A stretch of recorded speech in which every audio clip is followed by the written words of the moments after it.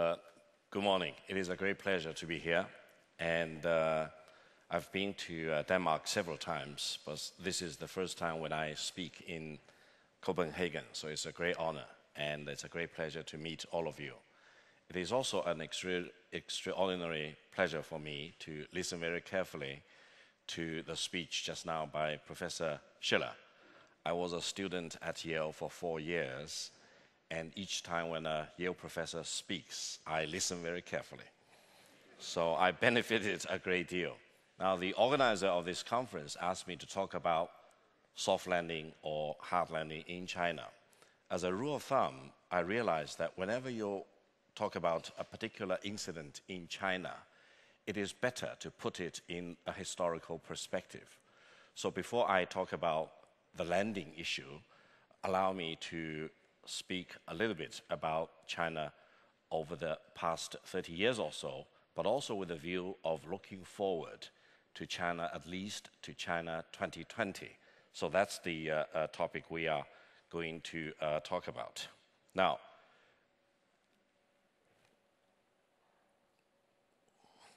let me see how do I.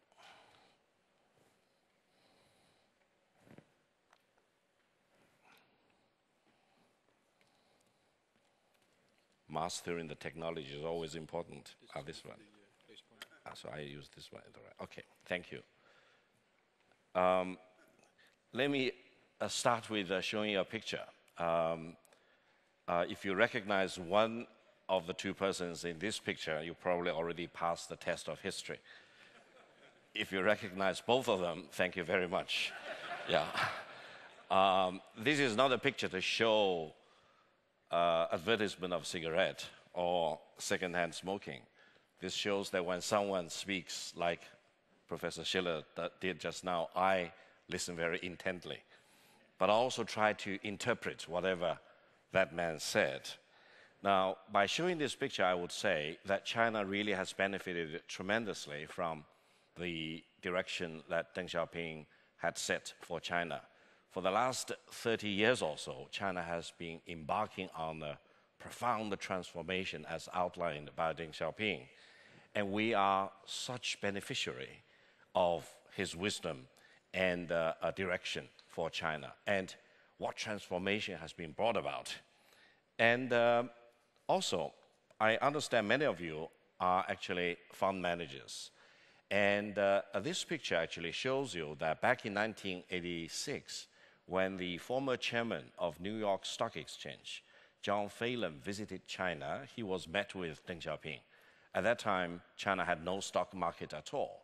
And it was during this meeting uh, where I was doing the interpretation that Deng Xiaoping said that one day China would have its own stock market. And you know, as of November last year, uh, China celebrated the 20th year anniversary of the founding of the Shanghai Stock Exchange.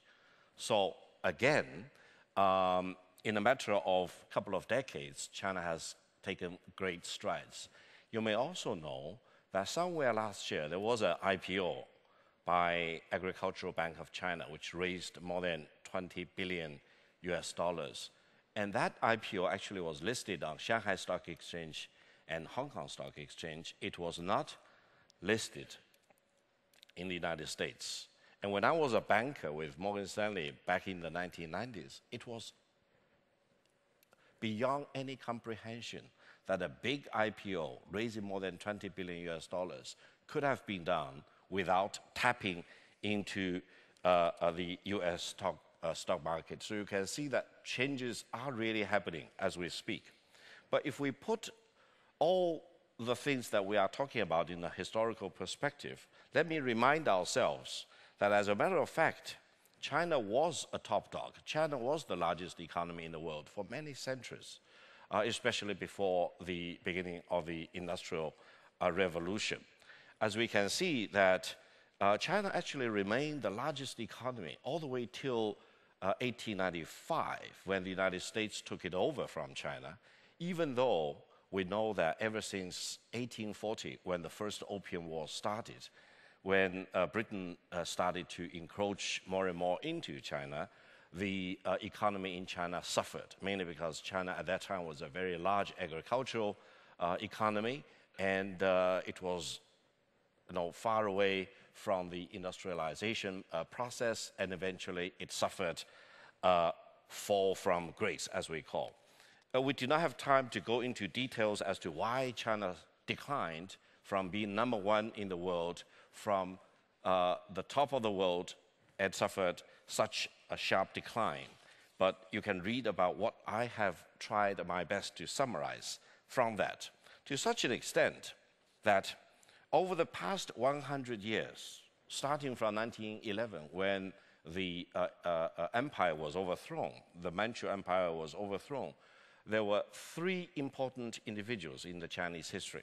Dr. Sun Yat-sen founded the Republic of China in 1911, and then Mao Zedong founded the People's Republic of China in 1949, and then most importantly, I think, of direct relevance to what we are witnessing today in China as well as in the world, uh, Deng Xiaoping re-emerging from exile in, eight, uh, in 1978, becoming the paramount leader of China and really ensuring that China is coming out of the box and embarking upon such a great transformation. We also want to be reminded that back in 1978, China's total foreign exchange reserve was as little as 168 million US dollars. Probably most people in this audience manage money more than that amount. Uh, I was told uh, before I started to work with him, around 1980 or so, there was a big meeting in Beijing. And during the meeting, Deng Xiaoping said, Comrades, one day China's foreign reserve may reach 10 billion uh, US dollars and nobody believed him. Silence fell on the audience because at that time, 10 billion was like an astronomical number. But we also know that right now, China's total foreign exchange reserve uh, has reached 3.2 trillion US dollars, the largest foreign exchange reserve in the world. And also, China has become the largest creditor nation to the United States. Now, according to my calculation, ever since the beginning of the Industrial Revolution, there has been never any country with, relatively speaking, lower per capita income becoming the largest creditor nation to the only surviving superpower in the world. And all this, I think, is attributable to what Deng Xiaoping emphasized again and again when he reemerged out of exile. That is, the top priority is development. Development is the hard truth, as he emphasized again and again. And he basically said, forget about ideological dispute, arguments about whether socialism will be superior to capitalism or vice versa, because eventually, whoever can create jobs, whoever who can bring bread and butter to the table, he has the better ideology. So this is the guiding principle for China ever since then. So what exactly is China today? I would say that China today is still very much living in the long shadow of Deng Xiaoping and the subsequent two generations of the leaders, the third generation and the incumbent fourth generation of the Chinese leaders, are more or less caretakers of Deng Xiaoping's legacy. And Deng Xiaoping actually has turned out to be a prophet for the Chinese nation. He actually prophesied all the way till the middle of this century. So, right now in 2012, we are still very much in the middle of what he has set out for China. But even during a very short period of 32 or 33 years, great transformation has already taken place in China and also indirectly through China to the whole world. By now, China is already the second largest economy in the world. China overtook Italy, France, Britain, Germany, and Japan, respectively, in less than a decade. That's really very, very fast transformation. By now, China has become the number one producer in a dozen of uh, items, actually three or four dozen of items, including iron and steel, cement, chemical fiber, and automobile. Now, if you ever care a little bit about studying industrial revolution, you will realize that since the beginning of the industrial revolution, there have been only a handful of countries which have become the number one producer and user of iron and steel. Since around the time of 1995 to 1996, China has been the largest producer and user of iron and steel. And last year, China actually produced around 700 million iron and steel product. And as I mentioned, China is already the largest credit nation to the United Nations, largest foreign uh, reserve uh, in the world. And also, as we will discuss a little bit more, China actually may overtake the United States to become the largest economy in the world. But it is much more than that. If we look a little bit more uh, in details, uh, China is also the largest mobile phone market with 980 million mobile phone users, the largest internet market with more than 500 million users. And it is something beyond my comprehension and anticipation. China has become the largest manufacturer and users of automobiles. 2011 production is more than 20 million vehicles in China, way ahead of the United States.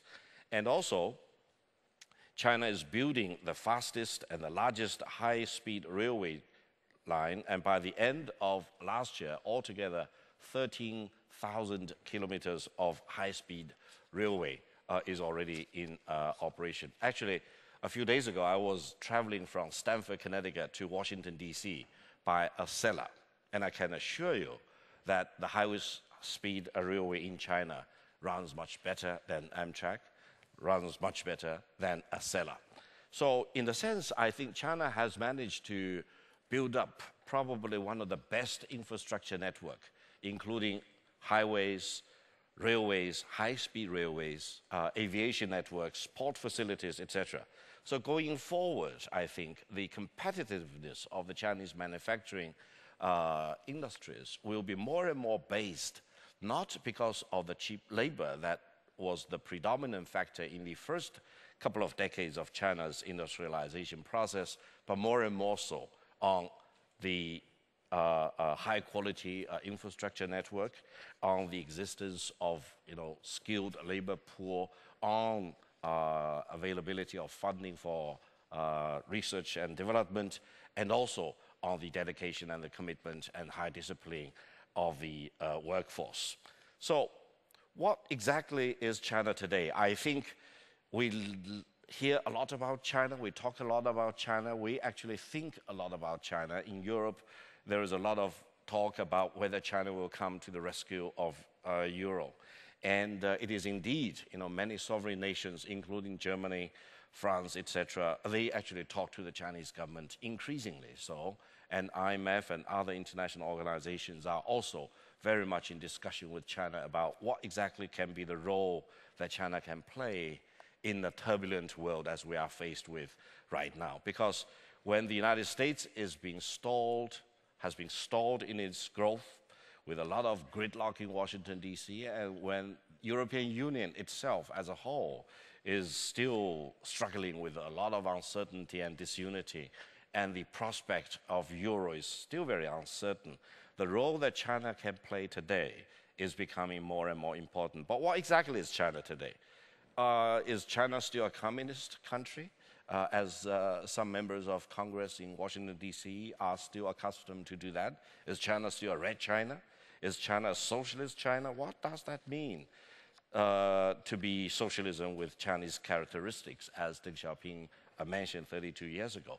Or more recently, there, some scholars have called China as state capitalism. Is China still a new China? Or in my term, I've been calling China since 1978 as the new, new China. So what exactly is China today? Now, we can talk about that and then we can come up with our own, own views. Uh, Professor Shiller just now talked about animal spirits, and I listened very carefully to that. But uh, I, I, would hesitate to describe the animal spirits in China.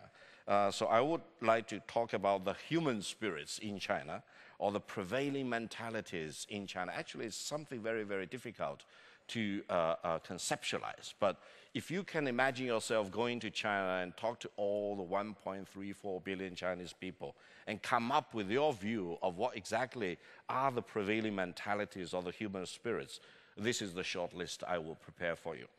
I would say in China, very, very predominantly, you see pragmatism, realism, mercantilism, secularism, globalism, innovation, experimentalism, a dare to do spirit, and uh, flexibility and a forward looking uh, spirit. uh, Professor Shiller just now also talked about 10 years of decline of confidence in the United States, and there is no end to that, at least in the immediate future. But in China, it's just the opposite. I personally can sense a high level of optimism, a firm belief that today is better than yesterday and tomorrow will be better than today. On the other hand, there is no self congratulation, there is no complacency, there is no dancing on the street uh, when China surpasses Italy or Britain or France or Germany or Japan. And there is a dedication and commitment to do what we need to do to increase productivity. And also, I think very importantly, there is a long term vision as charted out by Deng Xiaoping 30 years ago with a constant readjustment almost on a daily basis. And this is especially important because China uh, the people over there are faced with new challenges, new situations, and there is no institutional knowledge base for us to draw any precedents upon. Every day is new. Every day, for example, the economic disparity between the United States and China is narrowing. The gap is narrowing. By now, China is already the second largest economy in the world. And also, I think there is a strong desire and commitment to do the best in the world or the largest in the world. You know, we just heard in the news that Brazil may not be able to finish the stadium for the uh, uh, FIFA uh, soccer uh, game, and the expenditure will be probably uh, above uh, budget, etc. But in China, if you look at the Beijing Olympics in 2008, Shanghai World Expo, and the Asian Games, etc., one case after another, there is plenty of proof that the nation is becoming capable of delivering uh, results and embarking and completing mega deals uh, uh, and the desire to do the best or the largest deals in the world uh, actually can be translated into a reality. And also, there is a strong desire for stability at home and peace in the world in order to achieve economic development at home. Now, by mentioning peace in the world, it does not mean that China single handedly will be able to deliver peace in the world. It is actually more narrowly defined. It means that China wants to do whatever it can to stay away from military conflicts or armed conflicts in the world. Whenever there is a conflict, China does not want to have anything to do with that. And also, I think there is a strong desire and commitment to refuse to be bogged down by dogmatism ideologism, officification, inflexibility, immobilism, or self proclaimed truths, or self indulgent fantasies. I list this short list of things mainly because China actually uh, uh, was involved each and every one of them. Uh, for example, uh, self proclaimed truths. In China right now, the general consensus is that we don't have the truth. Whatever we can do is to get closer and closer to the truth. But you cannot reach the truth itself because once you believe you, can, you possess the truth, you lock yourself up in a box. That means pragmatism and experimentalism and uh, the desire to always do the experiments to test the truth against the uh, uh, practice uh, will become uh, the uh, dominant theme going forward. Now, I would say um, soft landing or hard landing aside, I would say the Chinese economy uh, will continue to grow at about 8% uh, GDP growth per year for at least the coming couple of decades. And China's economy, or the GDP in total, is expected to quadruple again uh, in the coming 15 or 18 years. Now, uh, we will go into more details later, but there is one mega question which remains unresolved and still very unclear.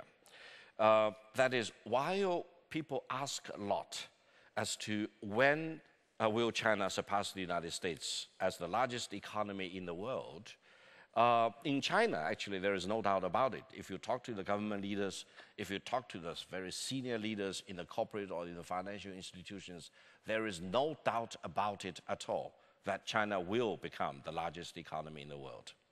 Uh, the only difference is timing. When that will be, that's uncertain. And uh, therefore, my answer to that mega question is that China may surpass the United States as the largest economy in the world faster than many previous estimates. Now, IMF actually already came up with a forecast using 2016 as the year when the Chinese economy will be bigger than the United States, but they are using the PPP as the basis. And in China, we do not want to use the PPP. We want to use the nominal exchange rate as the basis of comparison.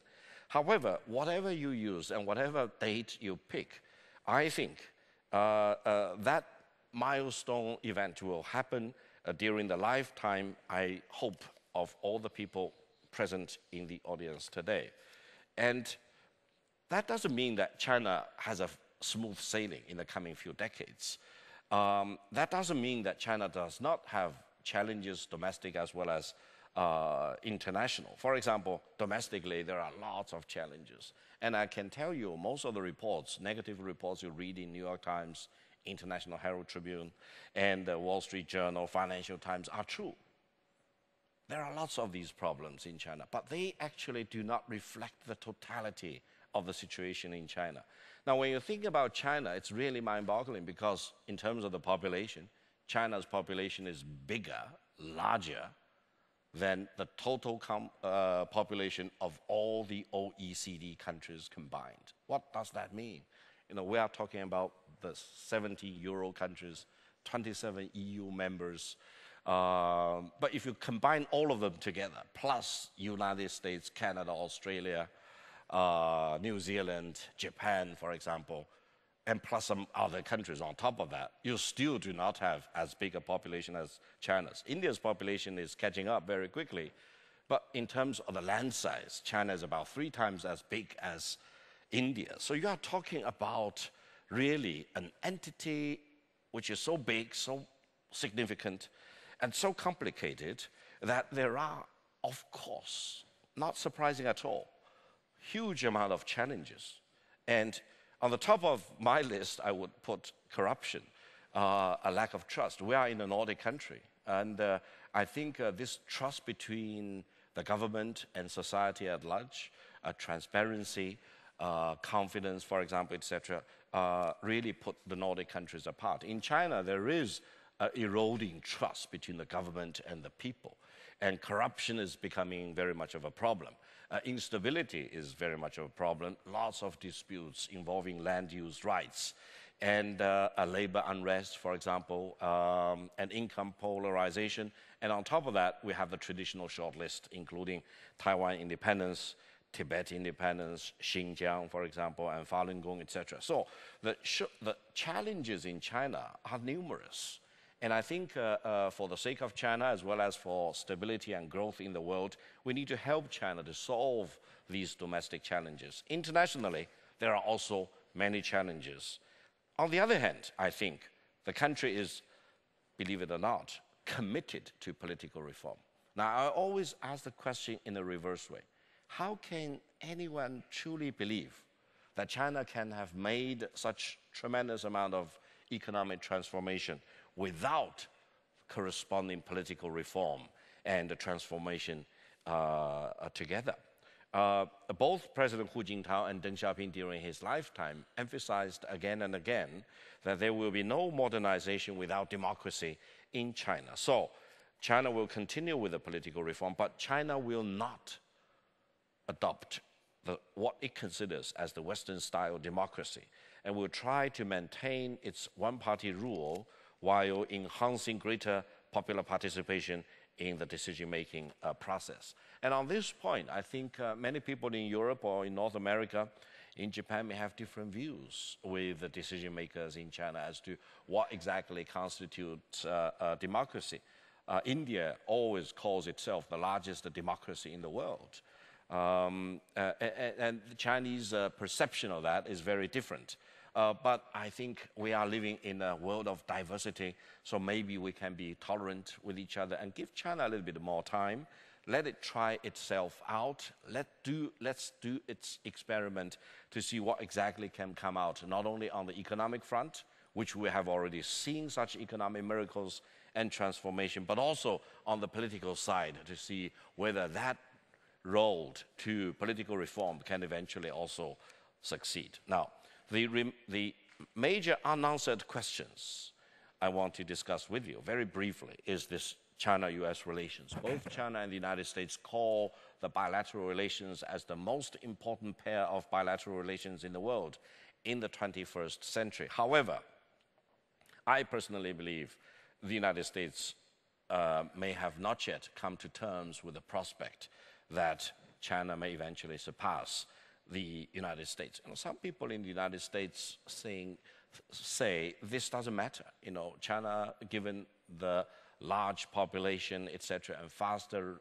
rate of growth, eventually will surpass uh, the United States. But on a per capita basis, the United States will remain uh, way ahead of China for many, many decades to come. And in terms of economic power, etc., the United States will be way ahead of China. But on the other hand, for any country to become the largest economy in the world in historical terms, uh, there is actually a lot of implications to that.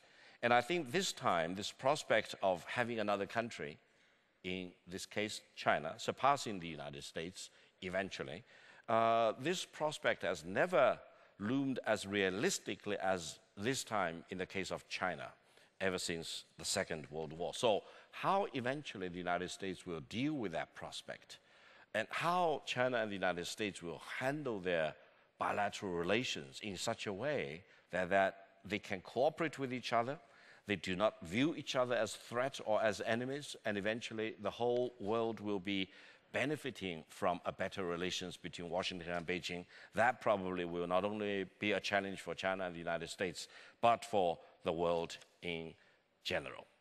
And also, coming back very quickly about the megatrends in China. Uh, let me summarize very quickly. Industrialization, modernization, urbanization, and globalization. Now, for any major economies in the world, sooner or later, at different stage in history, you need to go through one or all of these stages. But the amazing thing for China is that all these four megatrends more or less happen simultaneously. Because in historical terms, 33 years is actually a very short period of time. And in this short period of time, China is fastly industrializing. Now it's already the workshop of the world, and China is modernizing very, very quickly. Urbanization, in terms of urbanization, 2011 marked the first year when the urban registered residents in China surpassed the rural residents. But it's not clear cut 50 50 because among the rural population, right now, as we speak, there are about 250 million or more of rural populations who migrate to work in the, in the cities. They are indeed a migrant. They move from one city to another. They sometimes work part time in the cities, but eventually go back to the countryside. Many of them increasingly choose to stay behind in the cities. So, if you include the migrant population in the cities originally from the countryside, urbanization may be actually much bigger than the uh, uh, 50%. So I think, uh, and globalization is happening as we speak. And I personally would call the year 2012 as the year one, in the true sense of the word, of Chinese companies coming out into the world. And don't be surprised if more and more Chinese companies and financial institutions will be engaged in mega cross border transactions. And we also hear a lot about renminbi. And I would say uh, another mega trend going forward is that uh, renminbi right now is already convertible under the current account, but it is uh, not fully convertible freely under the capital accounts. But eventually there will be full convertibility of the renminbi, and the exchange rate wise, it will be market readjustability of the exchange rate. But what if the Chinese renminbi achieves full convertibility and the market readjustability of the exchange rate. The end result of that, even though there will be many things, technical things that need to be eventually lined up, will mean that the renminbi yuan will eventually become a global reserve currency. As a matter of fact, the more you think about it, uh, ever since the end of the Second World War, there has never been a, a country which is the second largest economy in the world whose currency is not used more or less as a reserve currency. So China is the only exception right now. The Chinese yuan is not used as a reserve currency, but this will all change in the coming years. And I think if you notice the fact that the Japanese Prime Minister, during Christmas time when he visited China, Japan officially requested that the Japanese government want to buy and hold Chinese renminbi treasury bond. Now, this, in historical term, will be a milestone event, and I don't think many people uh, in the world or in this audience included uh, may actually fully understood the implications of that. That means one big uh, a Western country, one of the OECD member country, officially now wants to hold renminbi uh, as part of its uh, bond holdings or uh, uh, reserve currency holdings.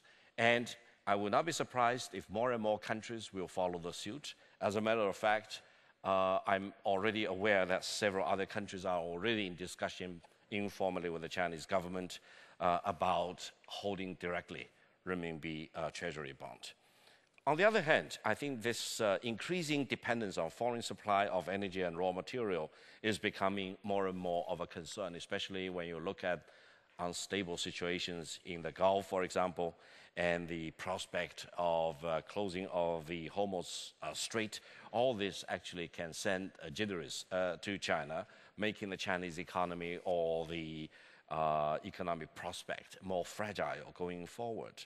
But on the other hand, uh, there is a rapid emergence of the uh, middle class. As a matter of fact, uh, there are uh, different estimates about China already becoming the largest country producing new millionaires or uh, billionaires in the world.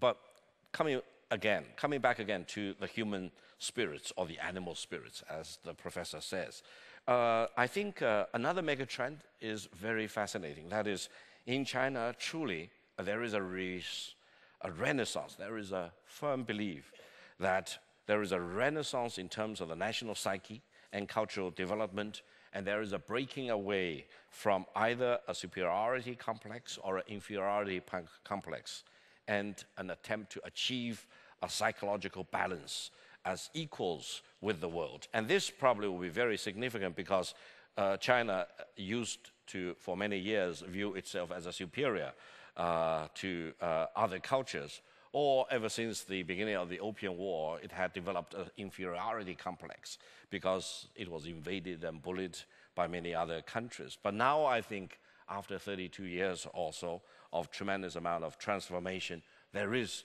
an equalization of view. There is a balance of the view. There is, I think, for the first time in the Chinese long civilization, that we are equal to the world. We are not above the world. We are not below the world. We are equal to the world. That will really change the mentality when the Chinese nation will engage the rest of the world and also provide tremendous amount of impetus uh, uh, to the globalization drive in China. Now, another megatrend uh, includes innovation because right now it is increasingly emphasized in China about uh, innovation from made in China to invented in China. And we know that in this city, Copenhagen, there was the Copenhagen uh, conference where unfortunately China and the United States actually clashed about their uh, commitments and responsibilities.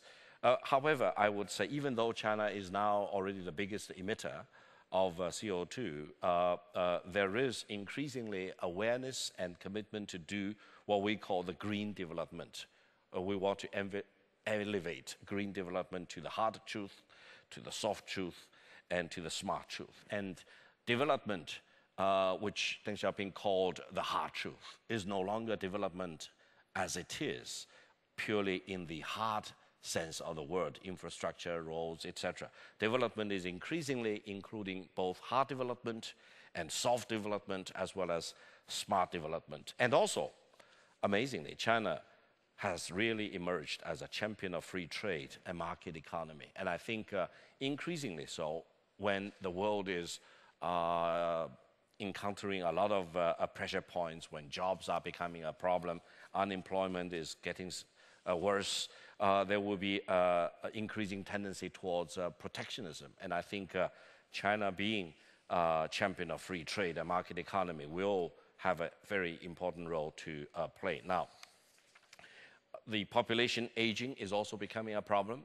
But I just want to mention very briefly that the aging population phenomenon in China is very largely due to the one child policy which China has been implementing for about 40 years. And uh, China actually has credited it itself for contributing to the sustainable global economic development by being very strict on the family planning issue, even though family planning has been controversial. Some other countries actually criticize China for the family planning policy because it, it infringes on human rights, for example.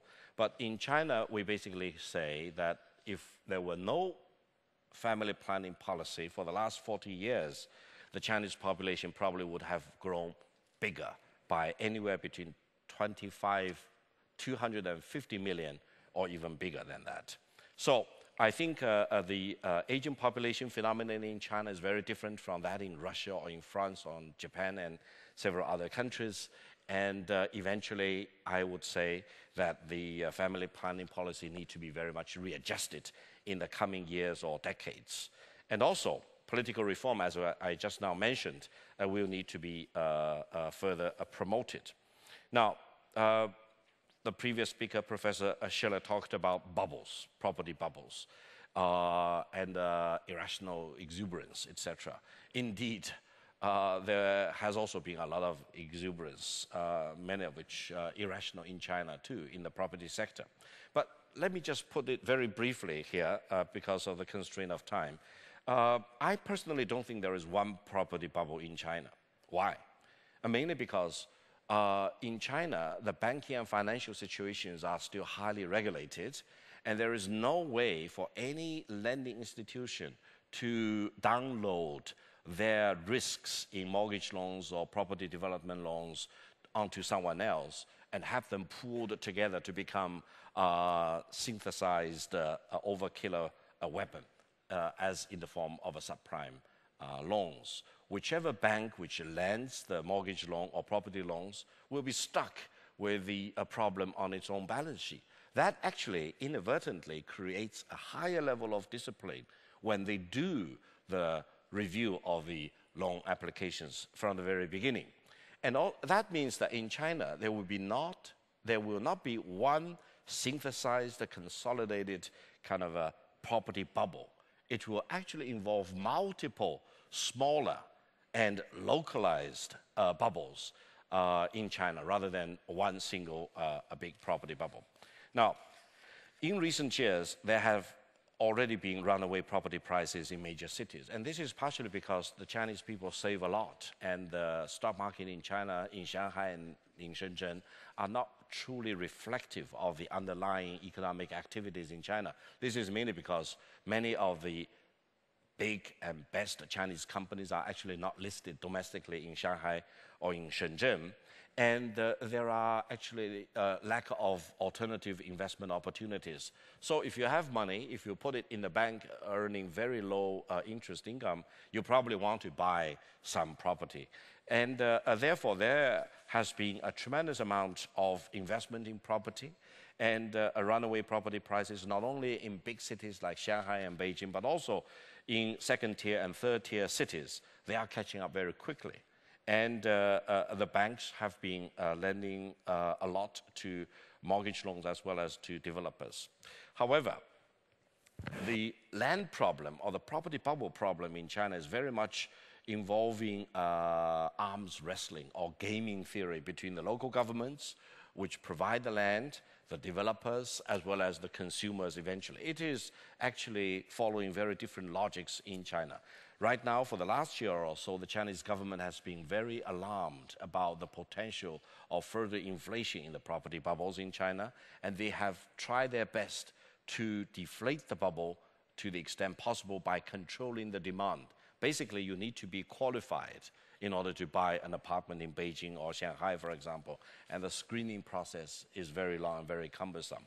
And the focus of the property development, according to the government encouragement and policy, has been shifted to low income housing and uh, rental housing. Now, whether there will be a soft landing or hard landing in China, we know that uh, in the immediate aftermath of the Lehman Brothers collapse, China actually was the first country in the world which came up with a strong stimulus package. The government's package was 4 trillion renminbi yuan, but if you add additional bank loans, etc., altogether it became about 9 trillion yuan. In China, we now have a rule of thumb. We basically say it's 10 trillion yuan total for the rescue package. And it has caused a lot of overhang because most of the money went into the infrastructure. Part of the money has been diverted into property development, etc. So the, uh, uh, uh, the big uptake in the economic activities as a result of the pumping in of 10 trillion renminbi yuan into the economy in the immediate aftermath of the outbreak of the financial crisis actually helped stabilizing the economic situation in China for a while, but also uh, helped the rest of the world in uh, uh, uh, stopping at the abyss. Because otherwise, I would say, if China did not take such dramatic action in 2009, uh, probably China would have plunged further. Uh, and the chart that Professor Shiller showed you just now about the sharp decline in China probably would be much worse uh, than uh, anticipated. But inadvertently, I think whatever China did uh, also helped the rest of the world uh, in staving off a major plunge into depression. Uh, however, we are now suffering from the overhang of this uh, big stimulus uh, package, and uh, the uh, government is very much committed in containing the growth in this regard. In China, I would say, because the Chinese GDP has been growing at about 10% for 33 years in a row, and this is almost unprecedented. If you look at post-war Japan, they managed to achieve very similar economic growth rate for about one or two or uh, decades or longer. But in China, it's 33 years in a row, and there is no immediate sign of slowing down or declining. And even though the final number is not yet available right now, but the general consensus is that GDP growth in 2011 uh, will be about 9.2% or 9.2%, uh, 3%. As a rule of thumb, the Chinese government is committed to maintaining a minimum of 8% annual GDP growth. Why? Why such imperative of maintaining 8% GDP growth? Let me uh, talk about that very briefly. Uh, this is because over the past 30 years or so, uh, one of the fundamental policies in China is to maintain employment, is to make sure that the government's responsibility in creating jobs will be achieved. And in the more recent decades, as a rule of thumb, each 1% GDP growth in China will translate into about 1 million to 1.2 million new jobs every year. That means 8% GDP growth will help the Chinese government to create about 10 million new jobs. And you are talking about 10 million new jobs need to be created every year. And when we look at, you know, the 8.9 or 8.5% unemployment rate in the United States, when we look at the unemployment situations in many countries, especially countries in the southern part of Europe, etc., uh, we realize that actually uh, uh, China actually has done the right thing. That is from the very beginning, and uh, consisting, persisting three decades in a row without, relent, without relenting at all uh, in creating jobs, in maintaining the uh, economic growth rate, etc. So I think even though the Chinese government's official target for GDP growth per year in the 11th five-year plan period, that is between 2011 to 2015, is 7%. But normally the government will come up with a more conservative uh, GDP target, whereas in implementing that, it will be a little bit higher than that. Uh, therefore, I personally think there will be no hard landing in China. What will be a hard landing in China? As a general rule of thumb, again, upon, uh, among the Chinese decision makers, any growth rate at or below 7% in China will be called a hard landing. But if you look globally, if you put this in context, 7% GDP growth for any European countries or for any OECD countries will be a very, very robust and high GDP growth. But in China, we will call that a hard landing. I personally don't think 2012 will have an overall annual GDP growth at 7% or lower, causing a hard landing in China for several reasons. One is that the government is still very vigilant, it's vigilant, it's very much on top of that. And also, as we will talk about later, 2012 will be a major year of transition in China. As a rule of thumb, again, the Chinese government and Chinese economy will behave very prudently and cautiously in the year of big transition. So I don't think there will be major surprises in China, and the government and the corporate circles, financial institutions will really pool all resources together to make sure that, generally speaking, stability uh, can be uh, maintained. And it is also noteworthy to know that the largest GDP province in China, the Guangdong province, which is just to the north of Hong Kong, recently announced that it will no longer compete with the second largest GDP unit, the Jiangsu province, on the GDP growth rate competition. Because you know each province in China is very much accustomed to competing with each other as to who grows its GDP faster, who has the largest GDP in China. But uh, Guangdong province, the largest GDP, which has the largest population in China, has already announced that it will no longer compete uh, on that basis. Now, uh, because of the uh, shortage of time, uh, let me skip several pages, but you will be having the presentation material anyway. Uh, about this transition as we now just now mentioned. Uh, the current incumbent generation of leaders in China is the fourth generation under Hu Jintao. And uh, the transition in China in, will be a little bit more complicated. It will involve at least three steps. That is, in October 2012, there will be a party congress, the 18th Party Congress, and uh, the party general secretary's position will be transferred from Hu Jintao to Mr. Xi Jinping. And in March 2013, there will be uh, the National People's Congress, the parliament session in China, and the presidency, the prime minister, the uh, cabinet members will all need to be reshuffled. And most likely, uh, in 2014, the chairmanship of the Central Military Commission uh, will be uh, transferred. And uh, the incoming fifth generation of leaders are expected to be very different from the incumbent fourth generation of leaders. However, I think one thing which is reassuring is that in China, ever since Deng Xiaoping re-emerged 30 years ago, the economic development and the political reform are based on two pillars. That is, maintaining stability at home and keeping peace in the world. And I don't think the new uh, incoming government will uh, deviate from this uh, overall course of action in China. Now, what exactly will be China's ultimate goals? Uh, if you talk to the uh, inner circle leaders uh, and advisors in China, there is more or less this 20% rule. That means China wants to reach eventually 20% of the global economy, not on a PPP basis, uh, but on a nominal exchange basis. Actually, IMF already said if you use the PPP basis, China's economy 2011 already reached about 14.5% of the global total, but China wants to use the nominal exchange rate. That means the Chinese economy need to double in the coming uh, uh, years also. China also wants to reach about 20% of the global trade. You know, China has already become the largest trading nation both on the import side and on the export side.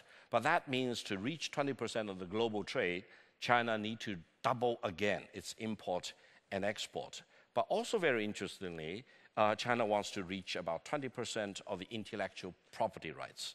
Um, Thomson Reuters reported that in 2011, even though the final number is not yet forthcoming right now, China will surpass Japan and the United States as the number one uh, nation in new patent applications. China also wants to be uh, 20% of the Fortune 500 companies.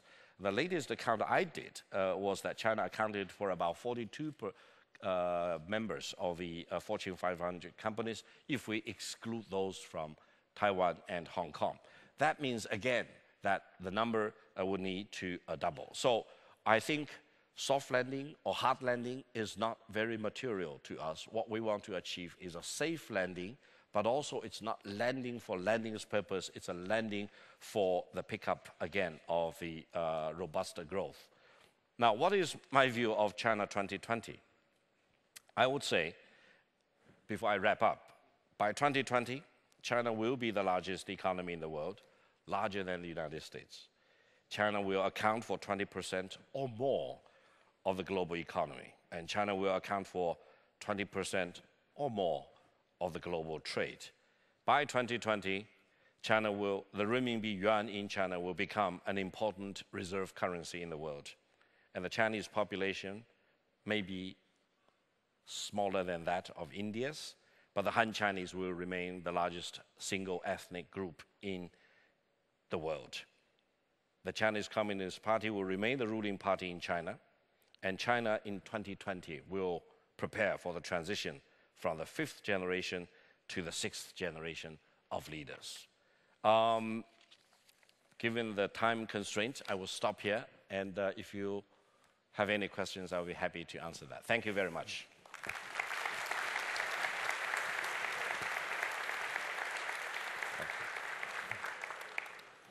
Thank you, Victor Gao, for a very interesting speech.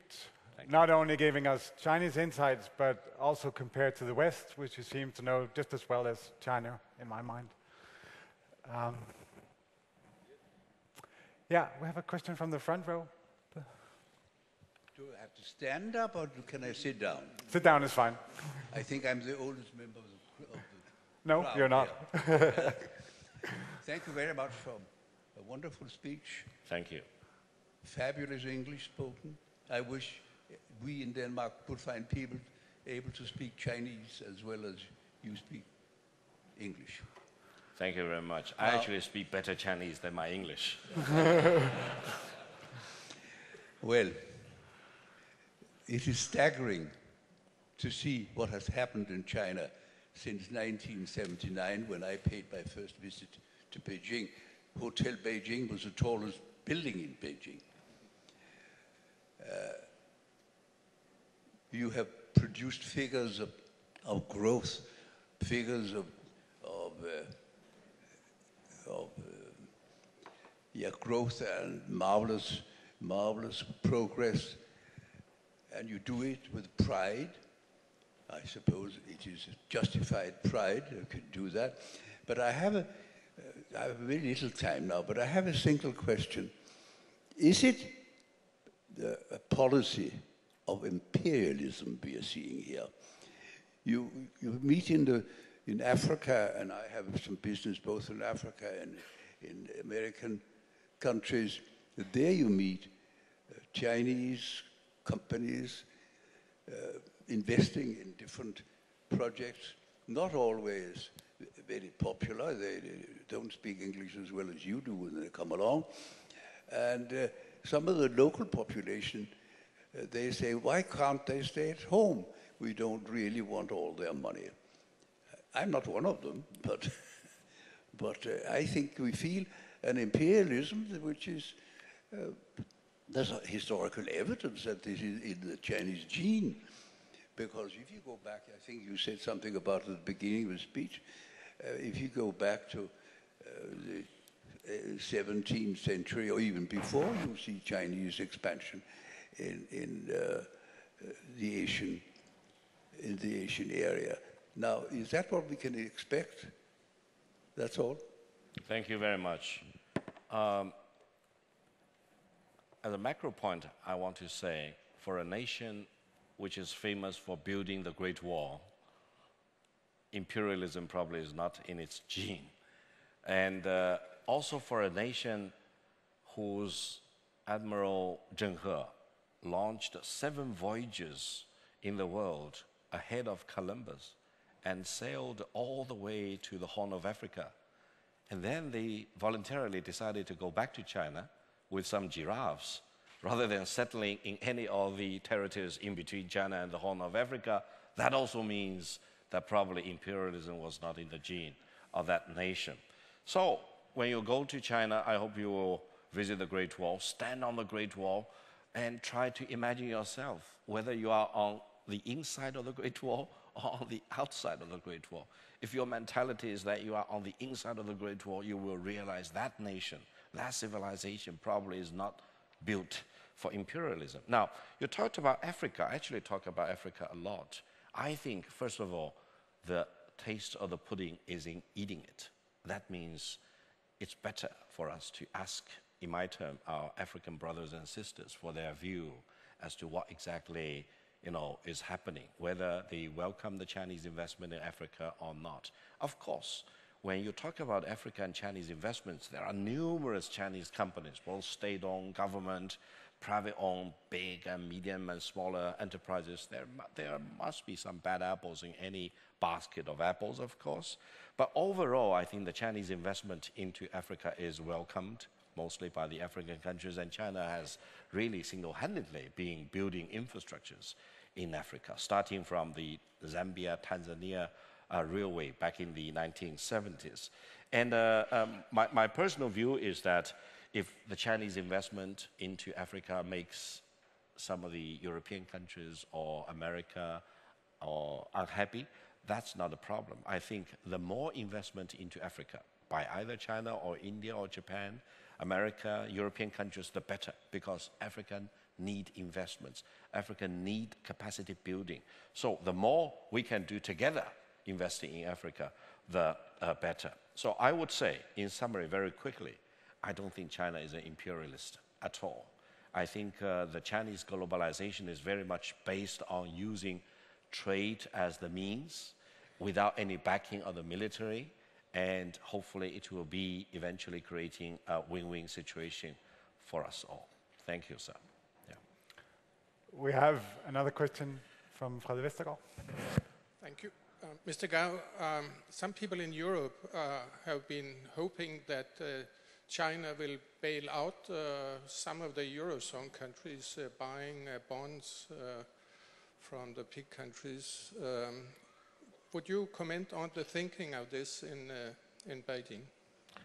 Uh, first of all, I think China has already purchased some of the bonds from some of those countries in southern part of Europe. And as I mentioned just now, uh, discussions are going on uh, between China and several other European countries, as well as between China and the uh, European Central Bank and IMF. Uh, France and Germany in particular talk to the Chinese government a great deal. Now, um, there are several things which can stand out in this one. One is that philosophically speaking, China prefers to have a stronger Europe, uh, mainly because China does not want to have a, what we call single polar world dominated by one particular country. So having a stronger unified Europe actually helps uh, achieve balance in the world. That's number one. So there is a political incentive for China to make sure that Euro does not collapse, unity in Europe does not fall apart, etc. That's number one. Number two is that even though China tends to treat you know, Germany, France separately as an individual trading partner, EU as a whole is now the largest trading partner to China.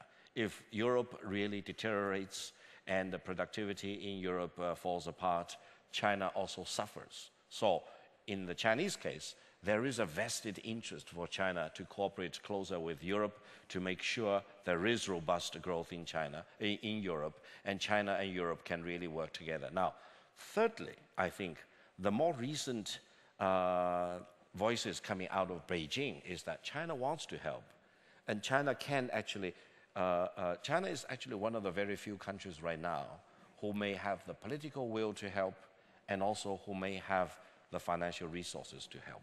But China does not want to make any investment which will eventually be highly condemned or criticized by the Chinese people. Mainly because right now there is also increasing transparency and they do not want to see China make any investment which eventually will be money losing proposition. So how to make that circle, how to turn that corner to make sure that the European uh, countries can have investment from China to help stabilize the situation, but also to make sure that whatever Chinese investments into these very difficult situations will not generate huge losses for China eventually. I don't think we have reached that point. I think all the parties are working very hard to work towards that goal. Thank you. I can see some more of you have asked for the microphone. However, you also need some refreshments now. I know the flight schedule of Victor Gao, and he's not going home soon. So we will hand him over to the press, and I'm sure if you have questions, you can also address them during the hour lunch later today. um, kindly. Thank be you there. very much. Thank you. Yeah. Thank you.